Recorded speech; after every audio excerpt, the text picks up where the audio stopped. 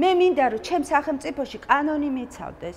მე არ მინდა რომ პოლიციას არ ვენდობოდე. მე დღეს პოლიციას არ ვენდობი.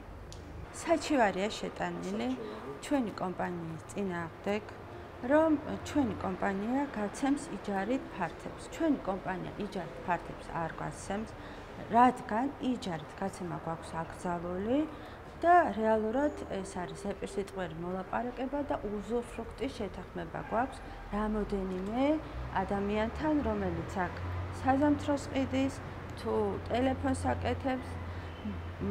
ამის გამო დღეს პოლიციელები მოვიდნენ ამ ადამიანებთან და დაუწყეს გამოკითხვა. ეს ადამიანები არიან შეშინებულები და თხოვეს რომ მოსულიყავი აქ რომ გამემარტა რა ხდება, რატო გვაწიოკებენ? რატო გვაწიოკებენ? მე უთხარი, რომ მათ აქვთ უფლება მივიდნენ მოითხოვონ მოსამართლესთან ერთად დაკითხვა მე მაგალითად იმის გამო რომ პოლიციას უნდობლობას უცხადებ იმის გამო რომ პოლიციამ სისხლის სამართლის საქმე აღძრა ჩემზე და უსაფუძვლოდ ამის გამო მე მოვითხოვე მაგის მოსამართლესთან დაკითხვა. ამ საქმის გაგრძელება იმაში მდგომარეობს ჩემის აზრით, რომ უნდათ ახალი სისხლის სამართლის საქმე აღძრან ჩემზე, როგორც შპს მგზავრის დირექტორზე ნატალია ჩიხაძეზე.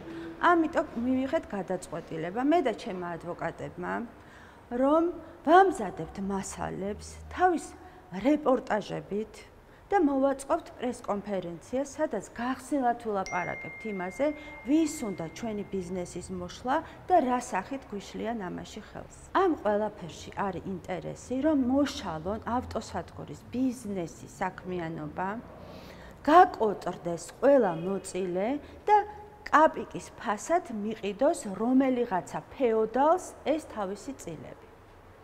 აი ამ აი ამ ქმედებების შედეგი იქნება ეგ. ჩვენ გვინდა რომ თავი დავიცვათ. საკუთრების უფლება არის ყველა სახელმწიფოში ფუნდამენტალური უფლება რომ ქონება უნდა დავიცვათ. და ჩვენ ამის საშიშროების წინაშე ვდგავართ დღეს რომ ქონებას ვერ ვიცავთ. ყველანაირად 1000 ხერხით ხდება შეშლა ჩვენი ბიზნესისთვის. ფინანსური ზარალი გვადგება რა თქმა უნდა როცა შეგვიძლია გავაქირავთ რეალურად უფრო მეტი ფართი. მერიასთან სხვადასხვა კომპანიებთანაც სარგებელი მივიღოთ მაგრამ რახან ამის უფლება არა გვაქვს? ამიტომ ჩვენ გვადგება სერიოზული მატერიალური ზიანი